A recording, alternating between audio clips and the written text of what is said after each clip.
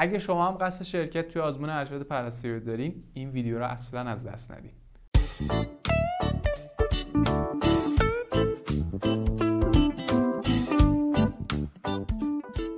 سلام امیدوارم حالتون عالی باشه. اسم من مهدی مقدمه و پرستارم. توی این کانال مطالب مربوط پرستاری رو به شکل هفتگی براتون آپلود می‌کنم. خیلی خوشحال می‌کنین من اگه همین الان دکمه subscribe بزنید. آقا امروز می‌خوایم در مورد ارشد پرستاری صحبت بکنیم. این چیزی که خیلی از بچه‌ها می‌پرسن میگن آقا ما ارشد بریم خوبه یا نه؟ اصلا آیا میصرف ارشد بریم یا نه؟ مثل سوالای دیگه که تصمیم گرفتم توی قالب یه ویدیو بیام و در موردشون صحبت بکنم و بگم به یه توضیحاتی رو بدم بگم که آقا اصلا ارشد چی هست؟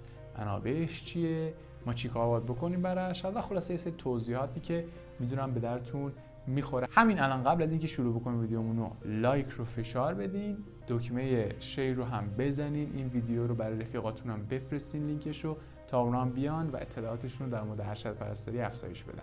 بدون وقت تلف کردن بریم سراغ ارشد پرستاری. آقا اولین سوالی که پرسیده میشه اینه که چرا من ارشد بخونم؟ آیا اصلا میصرف من ارشد بخونم یا نه؟ یه سری از بچه ها میگن آقا ارشدی به درد نمی‌خوره.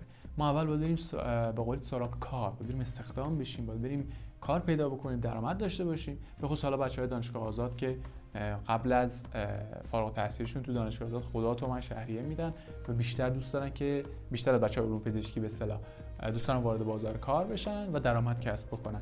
ولی اینو من بهتون میگم که شما اگه ارشد داشته باشین می‌تونید همزمان کارم بکنید و هیچ منافاتی با درآمدزایی شما نداره. می‌تونید همزمان کار کنید درآمد داشته باشین و ارشدتون هم بگیرید غیر از اون بچه ها یه سری ها ارشد رو می‌خونن حالا به دلایل متفاوتی. اینجا چراییشو میگیم. مثلا یکی میگه آقا من می‌خوام سوادم بیشتر بشه. یکی میگه آقا ارشد کلاس داره ارشد داشته باشین احترامتون بیشتره. و واقعا این هست توی فیلد پرستاری کسی که ارشد داره واقعا بیشتر بهش احترام می‌زنن واقعا بهش بیشتر بها میدن. و انگار که شما وقتی ارشد داری همه چی بلدی.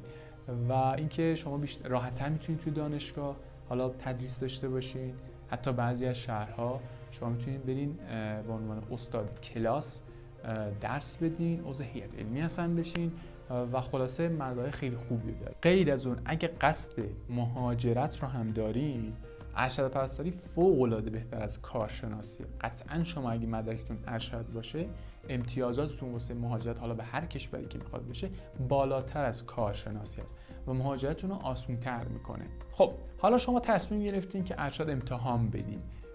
باید سری اطلاعات کلی در مورد ارشد بدین. مثلا اینکه زمان ارشد کی؟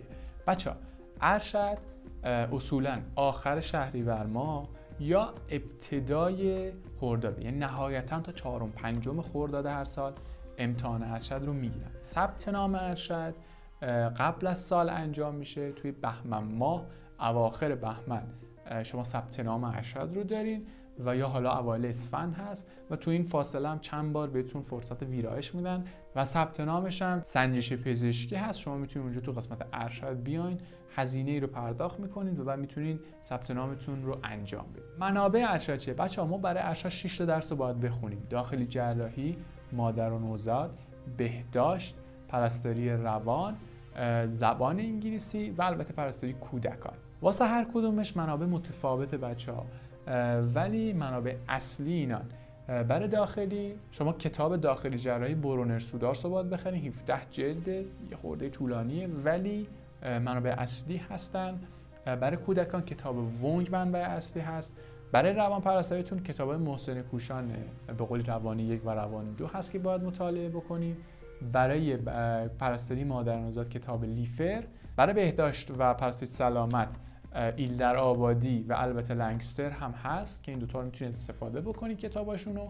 و البته زبان که اکثر بچه حالا 504 می‌خونن ولی منبع اصلی کتاب آقای امیر لیزگی هستش. خب حالا بچه ها می‌پرسن آقا ما قبول شدیم مثلا خوندیم و درصدامون هم خوب شد. حالا چه گرایش هایی داره؟ ما چه گرایش رو می‌تونیم بخونیم؟ گرایشاش ایناست بچه ها داخلی جراحی روان پرستاری کودکان مدیریت پرستاری پرستاری سلامت پرستاری سالمندان مراقبت های ویژه مراقبت های اورژانس مراقبت های ویژه کودکان مراقبت های ویژه نوزادان پرستاری نظامی و البته توان بخشی اینا گرایش هایی که شما می‌تونید مطالعه بکنید هر کدومشون بر اساس درصد دروسی داره که شما تو ارشد حالا درصدتون چقدر بوده و چجوری اونا رو شما سوالا رو پاس کردید. مثلا اگه داخل جراحیتون بیشتر باشه امتیازش مادر نوزادتون بیشتر باشه خب شانستون برای پرستاری داخل جراحی بیشتر اگه درصد کودکانتون رو بیشتر زدین خب قطعا تو گرایش کودکان و نوزادان و اینا خیلی بهتر می‌تونین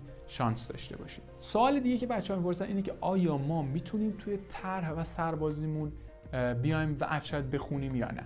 بچه هر زمان از طرح و یا سربازی شما حق شرکت توی آزمون ارشد رو دارید. یعنی شما اگر مثلا مرخصی گرفتین توی حالا سربازیتون اون روز ارشد و رفتین ارشدتون امتحان دادین اگه قبول شدین می‌تونید طبق سربازی بزنی یا اگه طرحی هستین گیر کردی. خب.